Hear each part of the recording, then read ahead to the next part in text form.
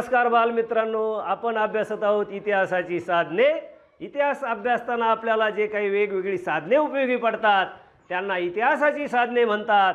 त्यामध्ये भौतिक साधने लिखित साधने आणि मौखिक साधने हे मुख्य प्रकार आहेत.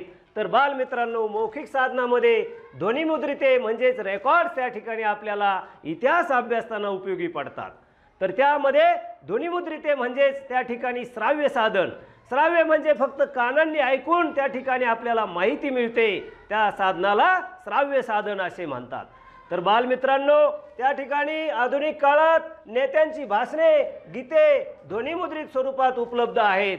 आपल्या स्वातंत्र्य चळवळीच्या काळातील रवींद्रनाथ टागोर यांनी आपल्या भारत देशाचं राष्ट्रगीत जनगणमन याची रचना केली.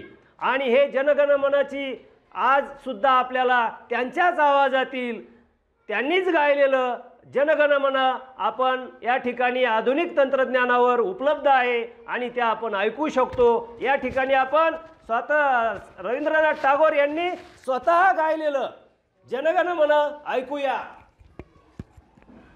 जनगण मन अधिनायक जय हे भारत भाग्य विधाता.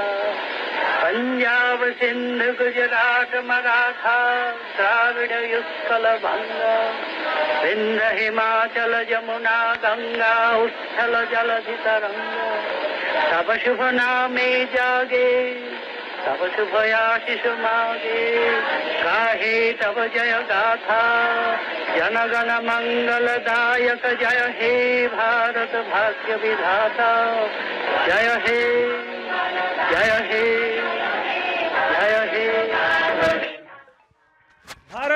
माता की जय। भारत माता की जय।